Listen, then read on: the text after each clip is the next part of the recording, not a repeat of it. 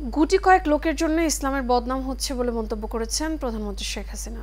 আজ রাজধানী আশকোনায় হাজি ক্যাম্পে এবছরের হজ কার্যক্রমে উদ্বোধনী অনুষ্ঠানে কথা বলেন প্রধানমন্ত্রী। ডিজিটাল ব্যবস্থার কারণে হজ ব্যবস্থাপনা অনেকটাই সহজ হয়ে গেছে বলে জানিয়েছেন তিনি। এ সময় তিনি আরও বলেন, বর্তমান সরকারের নেওয়া বিভিন্ন পদক্ষেপের কারণে হাজিদের আর আগের মতো দুর্ভোগ পোহাতে হয় না। হজ যাত্রীদের সুবিধায় বিমানবন্দর রেল স্টেশন থেকে হজরত শাহজালাল আন্তর্জাতিক বিমানবন্দর পর্যন্ত আন্ডারপাস নির্মাণ করা হবে বলেও জানান সরকার প্রধান। গ্রহণের সূচনা হয়েছিল বঙ্গবন্ধুর স্বাধীন দেশে প্রথমবারের মতো হিজবুল বাহার জাহাজে করে হজ যাত্রীদের হজে পাঠিয়েছিলেন জাতির পিতা বঙ্গবন্ধু শেখ মুজিবুর রহমান। সেই থেকে এখনও পর্যন্ত চলছে হাজিদের হজে পাঠানোর কার্যক্রম। তবে সেই দৃশ্যপট একেবারে পাল্টে গেছে। আওয়ামী লীগ সরকারের নেয়া নানা উদ্যোগের ফলে। তারই ধারাবাহিকতায় এবছর এক লাখ বাইশ হাজার দুশো একুশ জন হাজি হজে যাচ্ছেন। এই উপলক্ষে রাজধানী আশকোনায় হজ কার্যক্রম দুই হাজার তেইশের উদ্বোধন করেন প্রধানমন্ত্রী শেখ হাসিনা।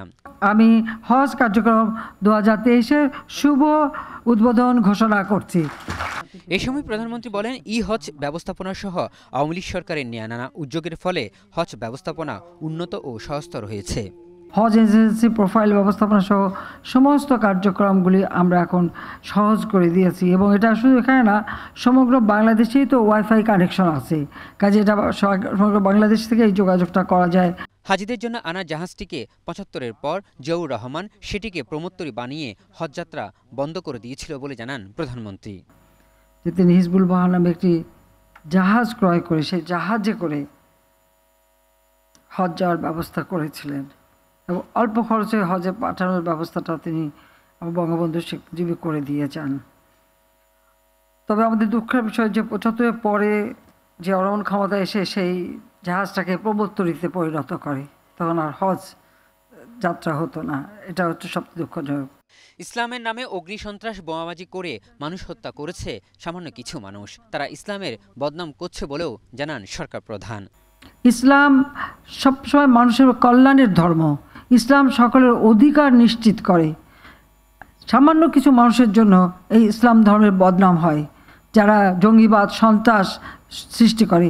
আসলে জঙ্গিবাদ সন্ত্রাস যারা করে তাদের কোনো ধর্ম নাই।